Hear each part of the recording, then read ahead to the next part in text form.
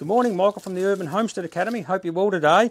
Uh, we're in our final stage of our garlic curing process. These have been drying now for over a month, and as you can see, the leaves are like straw, very, very dry to the touch.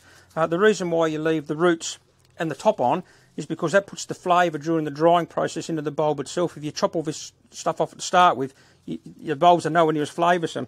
So when they get to this stage, all you simply do is you, you chop them back around about 50 mils from the top of the bulb. As you can see, it's nice and dry at the top. It's Just cut the roots off. And uh, that's all you need to do. You don't need to wash this bulb again. It's got a bit of dirt on it, but that'll come out in the, in the cooking process when you peel back these top layers.